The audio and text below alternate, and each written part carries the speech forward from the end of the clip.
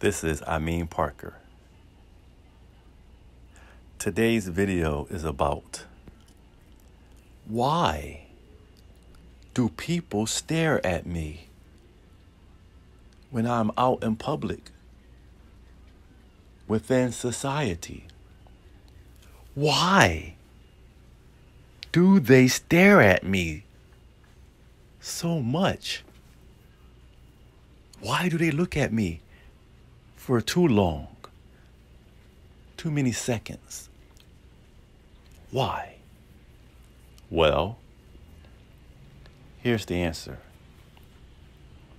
People often stare out of curiosity. That's right. We are all curious when we see something new or someone different. Although it can make us feel uncomfortable, people often do this by accident without really meaning to do it. Not everyone will have met or seen someone who has a visible difference before. What to do if people stare because you look different? Listen, it can be upsetting when you notice people staring at you. I get it. We look at why people stare and how you can cope with it. There is a difference between looking at people when we meet them and staring. If you have visible difference, you might have noticed people staring at you. This can be difficult and upsetting. Why do people stare at me? Why? Try and think of a time when you met someone and you were surprised by the way they look. Did you look at them for too long?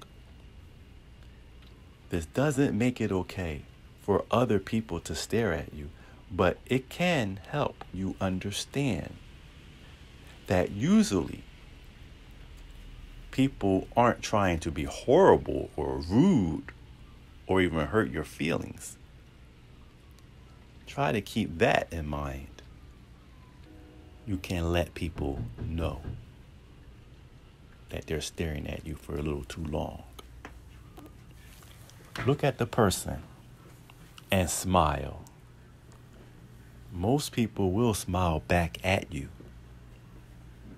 and then they'll look away because they knew that they were doing something wrong.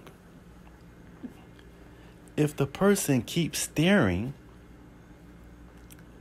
look back at them and raise your eyebrows and tilt your head. if you feel okay about it, you could say something. Try talking to them about something else it might feel a little bit funny at first, but it can help to practice. Try it out in the mirror or test it out on one of your friends and family. Here's something I'd like to leave you all with. One day, Rome was in the lunch room at school when he noticed the boy behind him staring at his face. So he turned around and said,